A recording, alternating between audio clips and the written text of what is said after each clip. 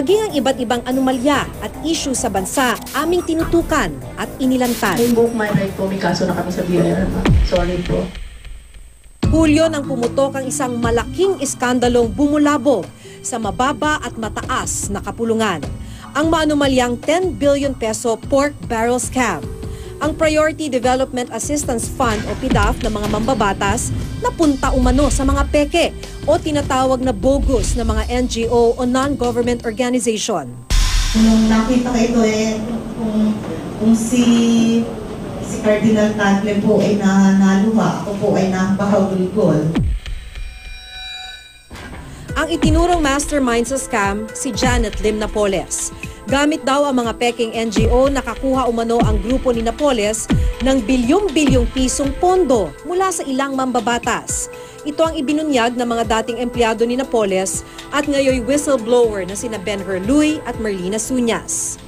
pera na yung papuntang sa master bedroom ni Madam. Kasi syempre, hindi naman kasya sa kanyang bolt. May mga bags na nilalagay namin sa kanyang, sa bed niya.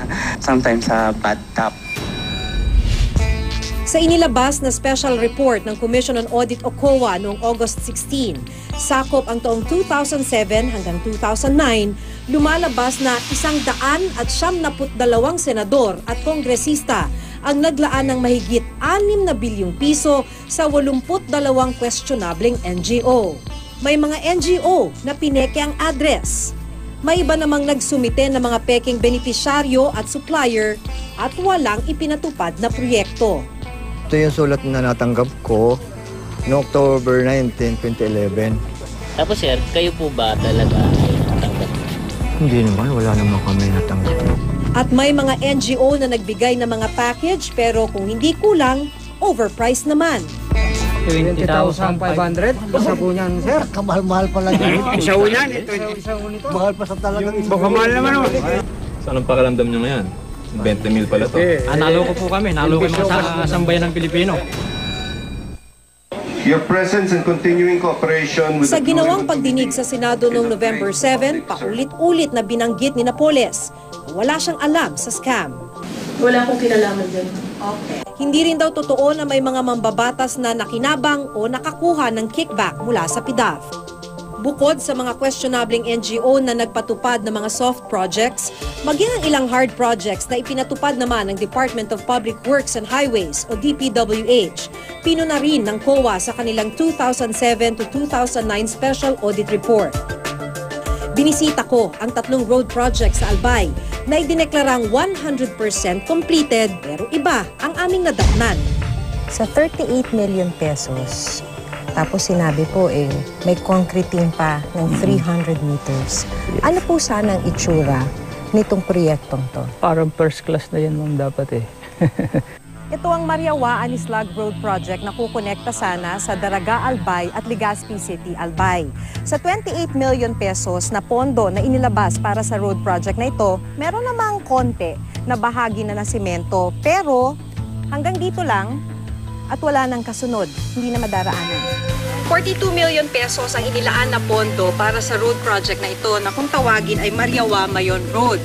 Sa 42 million pesos na yan, dapat nakasimento na siya ng 1.76 kilometers. At ayon sa completion report ng DPWH ay 100% completed ang road project na ito. Pero ayon sa COA at makikita nyo naman, sa 1.76 kilometers na yan, 297 meters lamang ang nasimento.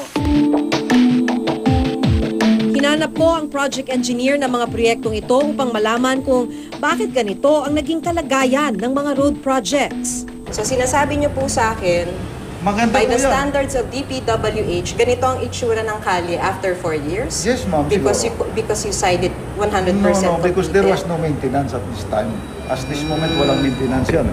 Siyempre, naman, gano'n sir. naman, sirang, ga- gano'n naman mamang kalsada. Pag walang maintenance, siyempre masisira. Kahit kalabaw lang po, katulad ng pagkakasabi ninyo, ang dumadaan sa kaling yan, ganito na magiging itsura. Eh, eh, hindi, hindi ko minomonitor yan daily. Ha? Ito po yung Mayon Road eh. Mariawa, Mayon Road. Ito po yun. Hmm. At ito, itong kali pong to, ay 42.7 million pesos, sir. So, ganito na po ba ang 42.7 million Hmm. Sa pesos? ngayon po, pero during the time of the implementation project, hindi ganyan. Ha? And this cost, Hmm. This was 28 million pesos. Ito po eh, ilang metro lang. Putol na. Hindi nga nagagamit, sir eh. Talaga Nasa gitna ng kawalan eh, dahil putol end-to-end. Eh, basta Hindi na siya connected. Ang, ang ano namin po dyan, in-implement namin ang project. Dumaan sa co- Commission on Audit, dumaan sa dumaan sa inspectorate, lahat na, na, na, na, ano, na proseso sinunod namin.